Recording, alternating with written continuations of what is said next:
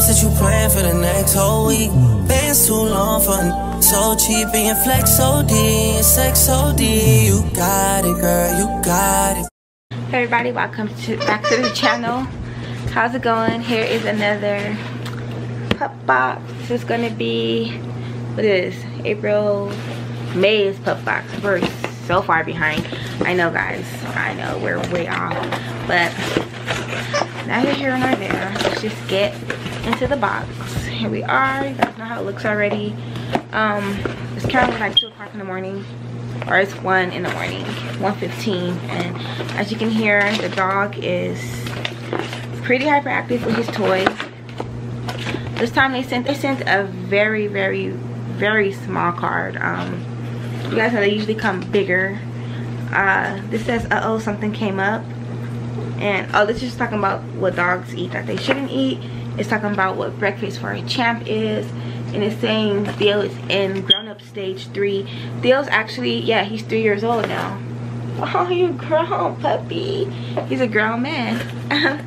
Well he's gonna be three later in the year but yeah this is saying he's in stage three. Hi Tad puppy. Um so this just talks about some of the common breakfast menu items that are good for us but are not good for our dogs. It says every dog is different which we all know. So always check with your vet. It says um, organic eggs are an excellent sort of uh, nutrient a source of nutrients for your dogs. They're high in fatty acids vitamins protein other essential minerals. Um, avoid raw eggs of course because we don't eat raw eggs like not really um, avoid raw eggs which could have salmonella. Okay to cook them hard boiled and chopped scrambled. A supplement or treat but not for the main meal. Um, and then it says avocados a little bit of flesh could be okay. It says avocados have persin a toxin that could cause vomiting or diarrhea. So basically don't give your dog avocado but a little flesh is okay which i will just not give them to them at all.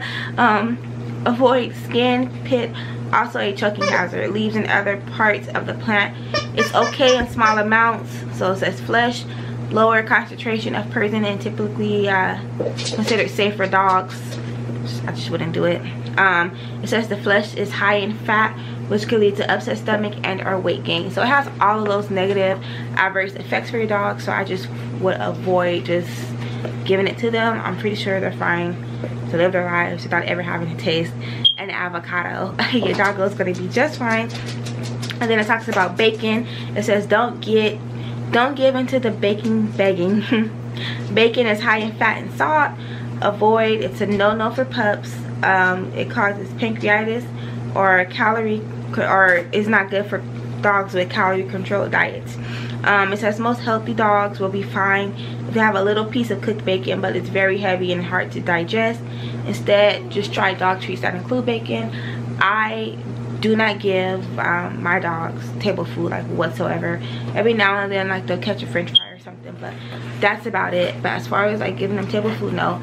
Um, the only type of like table food they have which i don't even consider table food is meals that we cook especially for them which is like boiled chicken and rice or something like that. And we do give them eggs mixed in um, carrots stuff like that. But like table table food like greasy food no.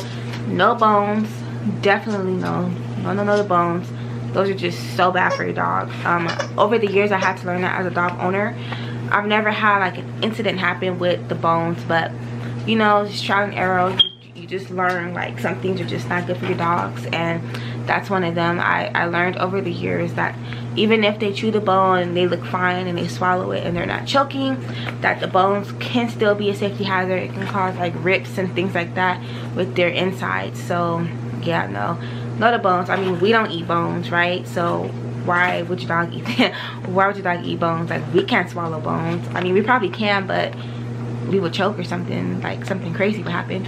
So you know why is that okay for your doggy? So I like stay away from bones. But you know, just certain things you learn about um, giving your dog dog food and stuff like that. And like table food is just, yeah, I stray away. Especially ever since I watched that movie Marley and Me with Matthew McConaughey. Was Matthew McConaughey, whatever his name is. And his dog like got the upset stomach twice. And the dog ended up dying from that stomach issue the second time around so ever since then i'm like oh no i can't give him the, the table food just no um so this talks about like i mentioned something came up about diarrhea and vomiting. This talks about regurgitation which is basically you know thrown up. It says often right after eating usually per, um, preceded by burping or coughing and then it's undigested or it's covered in mucus and occasional occurrence is normal but frequent occurrences might be a sign of uh, dilated esophagus. so that's regurgitation. And then vomiting something usually preceded by heavy, by heaving and reaching. Um, it contains digested food or undigestible items and a fluid or a foam which if your dog's throwing up you see like uh, my dogs always throw up with a foamy especially it's just like a foamy white foamy thing.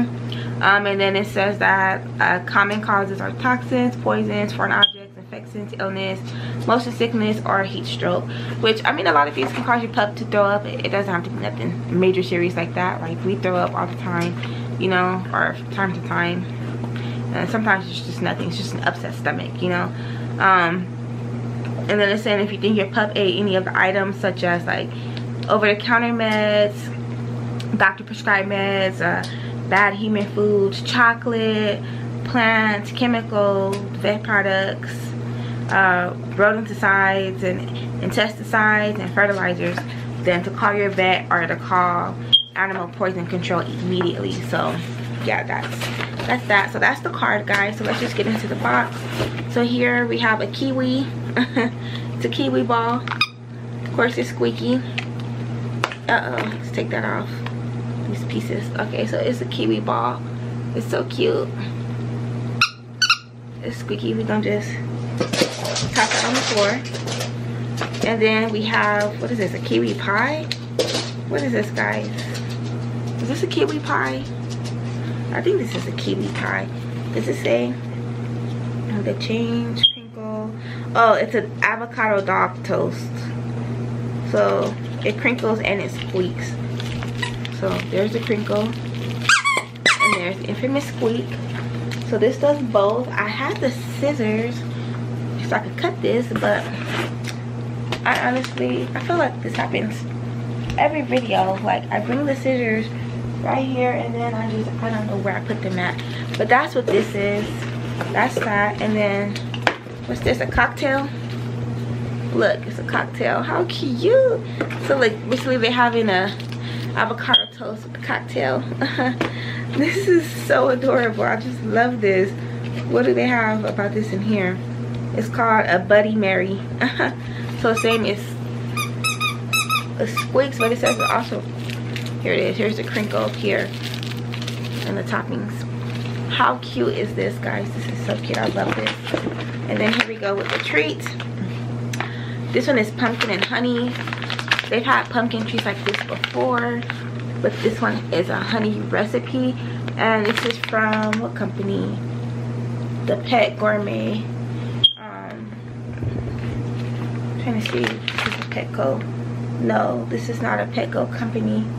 And it says small chew so let's open this up and let's see what this looks like. Sorry guys the camera just keeps going in and out let's open this up and see what this looks like. Um hold on. Teddy is patiently waiting for his. He said where's mine? Let's see how big these are. So they're they're not that big. They actually smell really good. So let's get one. Take these you want a Theo here Ted come on papa you gotta come over here though here you go.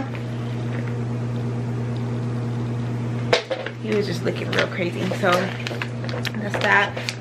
This is from the Pet Gourmet, like I said. The ingredient, oh, the ingredients on this one. This one is going to include pea flour, chickpea, pumpkin, coconut glycerin, peppercorn flour, brewer's yeast, honey, cinnamon, ginger root, and sorbic acid. And it says this is going to be best by October 18th of this year. So cool. How many proteins is, i mean our calories? It's um 28 kcal per treat so that's that. It smells amazing too guys. And then the last treat we have are these um brunch bites. So this is made with real bacon and egg. So this basically what they had what they were talking about on the card about by giving your dogs the bacon and what type of eggs to give. Um, so they included a treat and this is a Petco. I mean, this is a Pup Box brand. So I, I realized that usually in these boxes, they'll always try to include a Pup Box brand treat and like a treat from another place. So these are like small little bites. And how many calories do these have?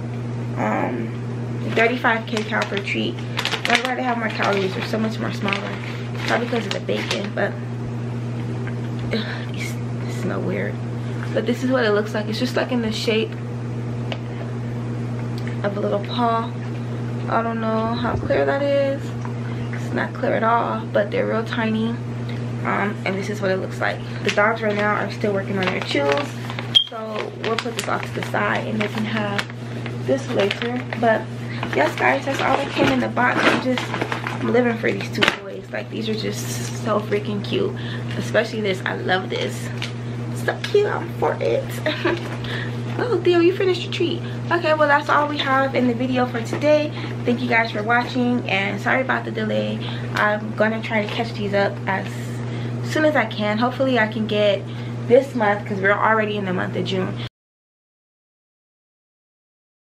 So if y'all could get June's box before July hits and then we can just carry on from there. Anyways, thank you guys for your continued support and for hanging out with me and my pups. And we'll catch you guys in the next video. Bye. Girl, you yeah. Pretty little thing, you got now you wildin'. You just took it off the line. Waiting you the looking. Talking while you come around and now you silent. The Cooper 17, no guidance. You be staying low, but you know